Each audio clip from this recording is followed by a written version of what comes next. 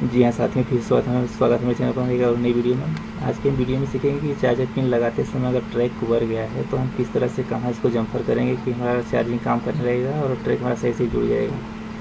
सबसे पहले देखिए, हमने एक मोबाइल को खोल कर रखा हुआ है। फ़ोटो लेकर के रखे हुए हैं। तो हम सबसे पहले मल्टीमीटर का जो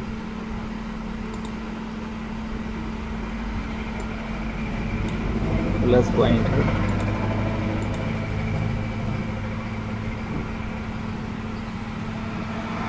सॉरी प्लस में माइनस माइनस हम इसको चेक कर लेंगे. देखिए, यहाँ पर जो चाहे पिन होता है, अगर इसको हम इसमें यहाँ पर देखिए प्लस का है, और इस तरफ़ जो आर होता है, ये चाहे पिन में पाँच पिन होते हैं, पाँच पिन में एक प्लस का होता है, एक माइनस का होता है.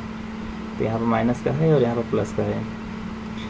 तो माइनस का तो हम कहीं भी ग्राउंड में जोड़ सकते हैं, चाहे हम यहाँ जोड़ लें, चाहे यहाँ से यहाँ जोड़ दें, चाहे हम यहाँ से इसको इसमें जोड़ दें. या इसको चाहे हम यहाँ से यहाँ जोड़ दें, चाहे इसको हम यहाँ से यहाँ जोड़ दें, कहीं भी जोड़ देंगे। लेकिन जो प्लस का पॉइंट है, इसको बहुत सावधानी से और सही ढंग से अगर नहीं जोड़ेंगे तो उस कंडीशन में आपको काफ़ी समस्या हो सकती है। आपका चाहे मोबाइल चार्ज भी नहीं होगा, चाहे दिखाएगा भी नहीं।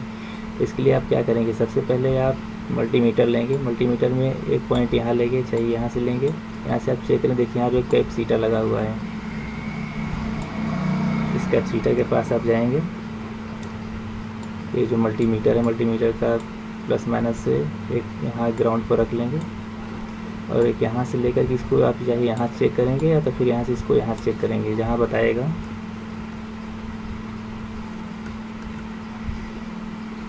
तो यहाँ से जो ये मल्टीमीटर जो यहाँ से यहाँ बताएगा, वो आपका ग्राउंड हो गया है। यानी कि माइनस का पॉइंट हो गया। उससे माइनस पॉइंट से हमसे कोई मतलब नहीं है। अब जो प्लस का पॉइंट बताएगा, इससे पहले हमारा मल्टीमीटर यहाँ से यहाँ बता रहा है।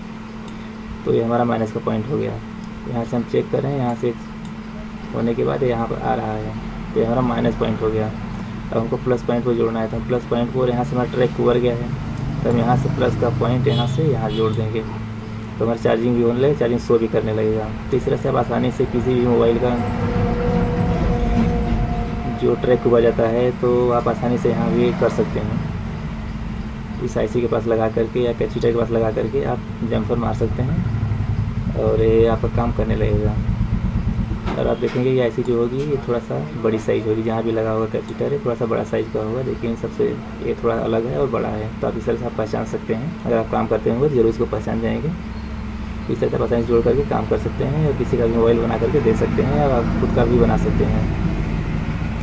तो अगर वीडियो पसंद आए तो लाइक करें, चैनल को सब्सक्राइब करें, साथियों के साथ शेयर करें। फिर मिलते हैं अगली वीडियो में।